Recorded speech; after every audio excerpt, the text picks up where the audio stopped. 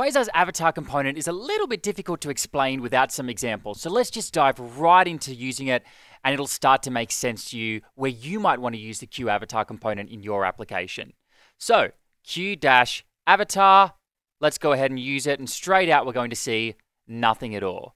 Let's change the color of that equal to blue, and now we can see we just get a nice circle there. Not a lot. Now we come in here and add an icon, for example, a person, that's going to throw that directly in the center, which is really nice. But we might want to change the color as well. So let's say text color is equal to white. And there you have it. Or you might even want to change this to something like blue dash 7 and then set the color of it equal to blue dash 2. That's a kind of a cool effect. Another thing you can do is change the font size. So let's change that to 1.4 EM. And that's going to change the font. Doesn't really work in this scenario, but you might want to make it smaller, for example. So let's just say 12 pixels. And there you have it. All right, so let's get rid of that and see what else we can do. We can throw an image directly in there. So if we get rid of icon here and get rid of the color, in fact, we can get rid of all of it, we can now just throw an image directly in there. For example, image, and then let's set the source equal to https slash slash picsum.photos slash 100, how about 200 by 200?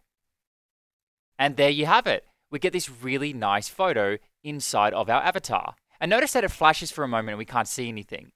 So in that scenario, let me just refresh the page again and notice we get white for a moment. In that scenario, you might want to add, for example, a class with a shadow of 1. And now we can just see that there's an avatar there, and then when it flashes, it comes back in there. And this might even be a good situation to use the Q image component. So we get a nice little loader as that's loading. Really cool stuff. What else can we do? We can set the content as text. So for example, 22 here, that can tell us that we've got 22, I don't know, maybe emails. How about we now set the color equal to indigo and then the text color to white. Oh, spelled that wrong. Indigo. Nice. Another thing that we can do is change the styling a little bit here. So if we want, we can square it off. And another thing we could do, if you want to have that nice sort of rounded border effect, is just say rounded. And that's just going to round off those borders a little bit there. So that's about it for the styling. But where the Q avatar component really shines is when you place it within other components. It's really smart at basically dealing with all of these different contexts. Let me show you what I mean.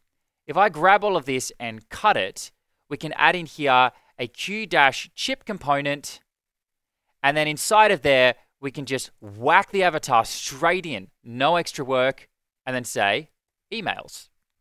And there we go, you've got 22 emails. See how it just fits in there nicely and does all of the hard work for you? I love this component.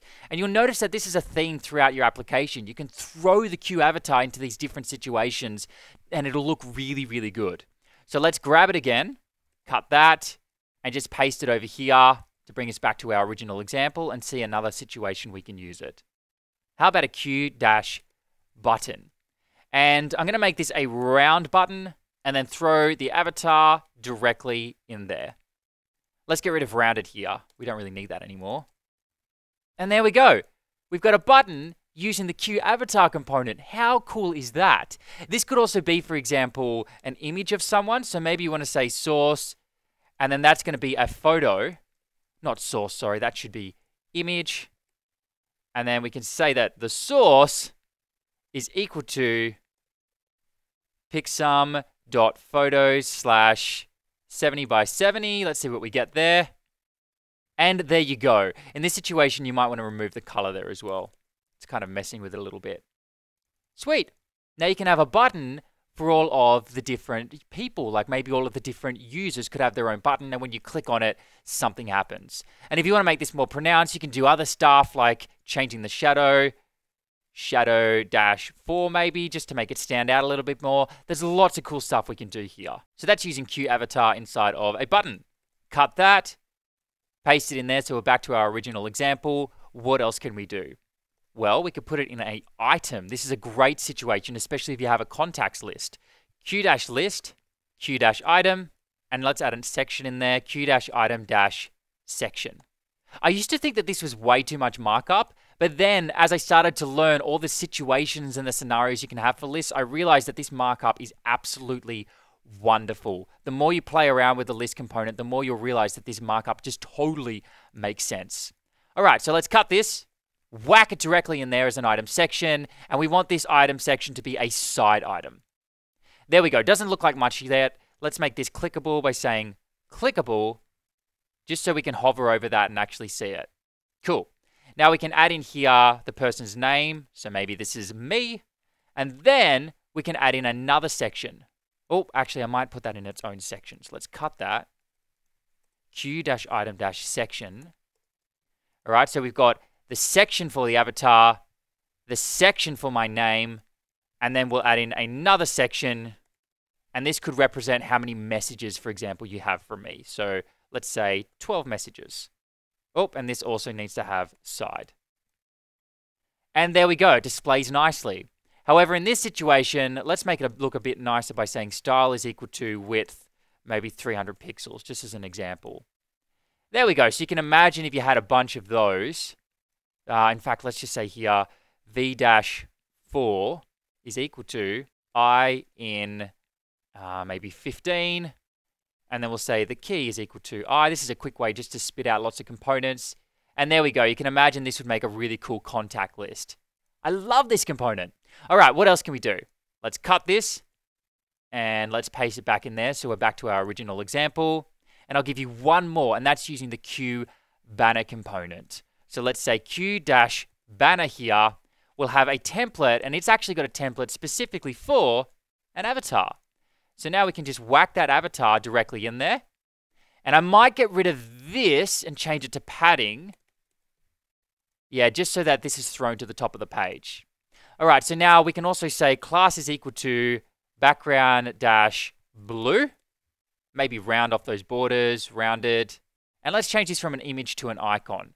So you could say icon is equal to Wi-Fi. We'll have to get rid of the image inside of there now. And let's play around with this a little bit more. So we could say color is equal to white. And then let's add some text underneath here for the banner itself. Your Wi-Fi is connected. And there you go. Let's style this a little bit more.